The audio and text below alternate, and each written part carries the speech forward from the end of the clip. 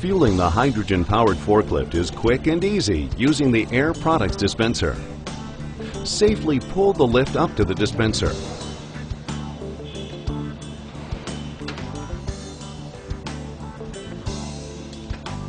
Connect the communications cable and then the dewatering line.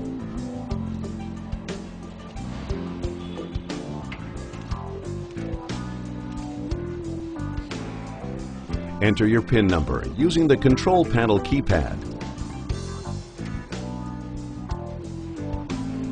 When the green light comes on, you are ready to begin the filling process.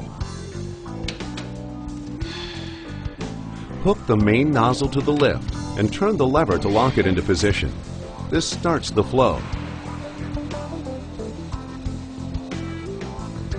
Notice the water being pumped out of the forklift through the clear hose. That water is the only waste produced by the forklift. After a few minutes, the green light will go out and the flow will stop. The filling process is now complete.